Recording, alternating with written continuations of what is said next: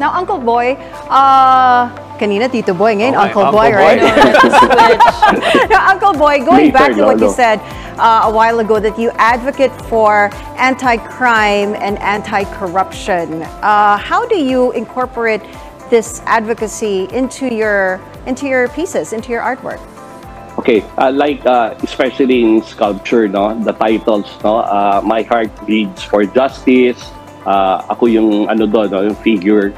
Then uh, reaching out for victims of injustice. The figure you can see uh, and crying for justice, perseverance, patience. Mostly ganun yung mga title and uh, uh, it's incorporated with uh, especially with me, what happened 13 years ago uh, because of the death of my son. Yes, it is a yes. tough, rough journey, um, um, life changing. That's why during that time, na uh, during that uh, process, I started healing. No, I, Right. I by through art. So, uh, yeah, most of the time, I my art pieces are are about that advocacy. Uh, uh, crime, corruption, and for victims of injustice. Uh, victims of injustice, uh, yun.